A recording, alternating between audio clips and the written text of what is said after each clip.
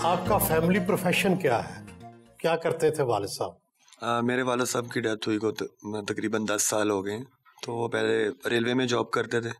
उसके बाद हमारा ख़ानदानी जो पेशा है वो ज़मींदार है तो हम खेती बाड़ी करते हैं। कभी आपने खुद खेती बाड़ी की है? जी मैंने अल्हम्दुलिल्लाह ये क्रिकेट खेलने से पहले मतलब लाहौर कलंदर आने से पहले मैं खेती बाड़ी ही करता था। हम्म, हल चलाते थे? जी बिल्कुल और सारा कुछ खुद ही करना पड़ता है। करता रहूँ। लेकिन उसके बाद जब लाहौर के कलंदर में आया हूँ तो फिर अब भाई करता है, मैं नहीं करता।